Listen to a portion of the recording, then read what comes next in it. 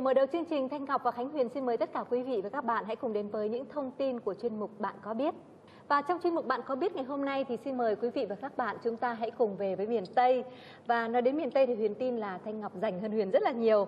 Khi về miền Tây thì Thanh Ngọc thường ấn tượng với hình ảnh gì nhất?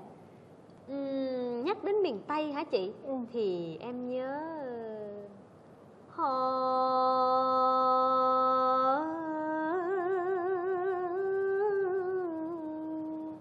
dấu xuồng ba lá lên đơn cầu tre lắc lèo cặp gần khó đi. Anh ơi, chớ ngại ngần chi, ngồi xuồng ba lá giữa kỳ nước đúng là mình nhớ ra là mình hỏi ca sĩ có khác. Ừ, và trong giọng hò của ngọc thì có hình ảnh của xuồng ba lá này của con kênh này và của cầu tre nữa đúng không nào? Dạ đúng rồi. Và có lẽ là hôm nay thì chúng ta sẽ cùng tìm hiểu về xuồng ba lá đi. Xuồng ba lá là một cái phương tiện vận chuyển rất là quen thuộc của người miền tây đúng không ngọc Suốt từ thời khẩn hoang đến nay thì xuồng ba lá vẫn là phương tiện di chuyển của những cư dân ở vùng đồng bằng sông Cửu Long. Ừ. À, cho dù là nhà có nghèo cách mấy đi nữa thì cũng có thể sắm được cho gia đình một chiếc xuồng ba lá đó. và Huyền nghĩ rằng chúng ta phải tìm hiểu tại sao mà người miền Tây lại hay sử dụng xuồng ba lá ha.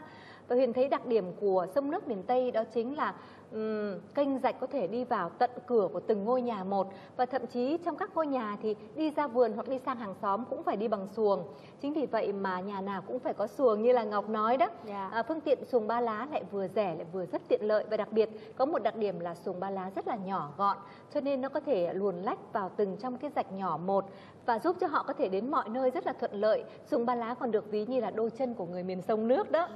Ba lá trong tên xuồng được xuất phát từ việc xuồng được đóng từ à, ba tấm ván, ừ. một mảnh rộng to bản được dùng làm đáy xuồng, ừ. còn à, bên hai bên tấm còn lại là là mạng xuồng ừ. mà dân địa phương thường hay gọi là be xuồng đó chị. Ừ. À, cả ba được kép xuôi theo chiều dài của chiếc xuồng. Theo cách này thì ngoài xuồng ba lá ra chúng ta còn có xuồng năm lá với à, à, cái kích thước rộng hơn nữa. Ừ cách Ngọc vừa chia sẻ đó là cách đóng thuyền theo kiểu truyền thống, đúng không?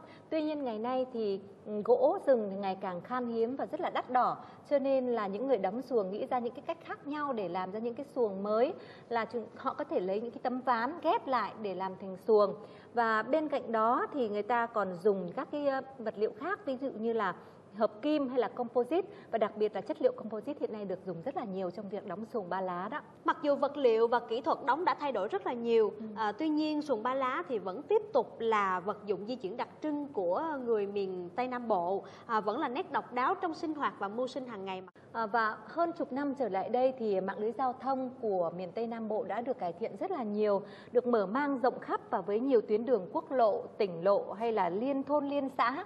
Thế nhưng mà ở những cái vùng miền sông nước thì trên kênh rạch, nhất là các cái bến đò, chợ nổi, xuồng ba lá vẫn tiếp tục là phương tiện giao thông chính và trở nặng hơi thở hàng ngày của người dân miền Tây sông nước.